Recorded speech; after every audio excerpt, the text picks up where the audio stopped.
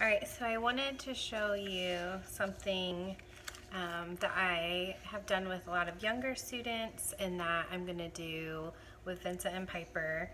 Um, it's like mess free. So this is really crappy paper. It's just printer paper. I buy the cheapest kind because hashtag Dave Ramsey. So it's just 20 pound printer paper. Um, and if you have thicker paper, it's better, but this will work. So what you can do is you can take any kind of paint.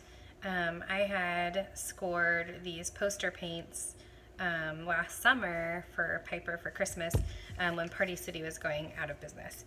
So you can put as, as much or as little as paint as you want, whatever colors you want. Um, I love to do this with primary colors um, so that you know, the kids can really explore what happens when you're mixing those two. So I just grabbed yellow and blue. Go Pacers, I guess. And gallon Ziploc baggie. I like to flip the Ziploc part as I slide in. So you're gonna slide your paper in.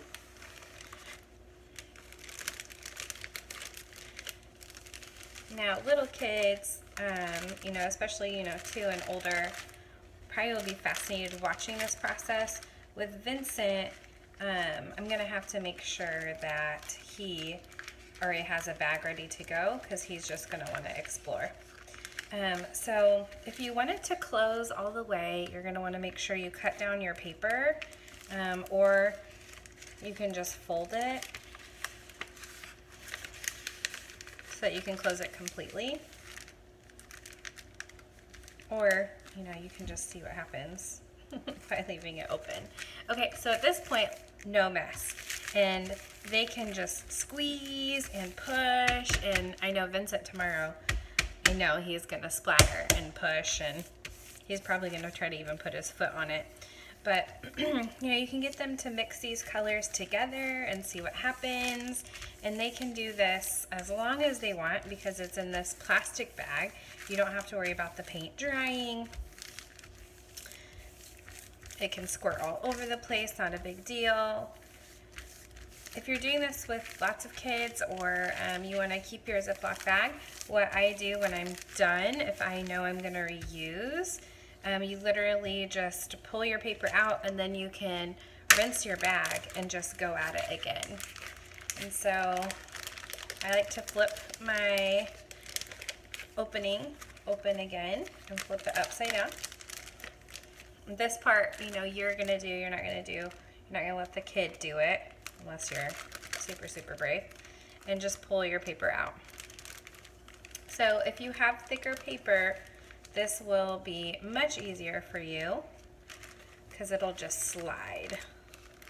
But because I've used super, super cheap paper, my bag is really wanting to stick. So hopefully you don't mind the mess for yourself. Okay, and so then you have this really beautiful mixed up piece of art um, and paint didn't get all over your kid or their clothes. Now, I get pretty messy, but I mean, that's just me in general, right? So at this point, you can let it dry. You, if you want to let them explore with paintbrushes, you can. You can even take another piece of paper and print on top of this if you've used thicker paper. Um, if they're not quite happy with this one, maybe the paint didn't get um, spread as much, you can even let them fold this over and spread some more um, just until they're super happy with it. So at this point, you have paint all in your bag. So if you want to reuse this, you can. Just fill it up with water, give it some shakes, and then turn it up inside out so it can dry. So that's it. That's my little baggy painting um, exploration. Hope you guys give it a try.